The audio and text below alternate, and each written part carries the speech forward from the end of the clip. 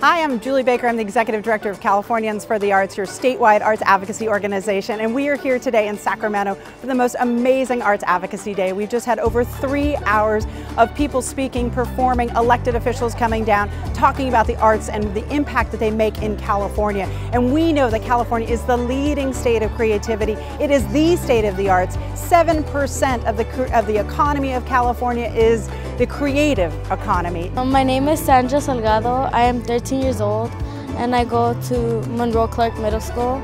I think every kid and just everybody needs art in their life and it's either dancing, singing or art. My name is Noemi Torres and I go to Wilson Middle School. I'm here because I think every kid deserves a chance to be someone in life and do something they want or like. My name is Anne Bown-Crawford. I'm the Executive Director of the California Arts Council. I'm here at Arts Advocacy Day at the Capitol. Our job as a state agency to support the state through the arts and culture is to grant money to community organizations. I get to meet many, many people who have actually received our grant funding and are doing amazing work.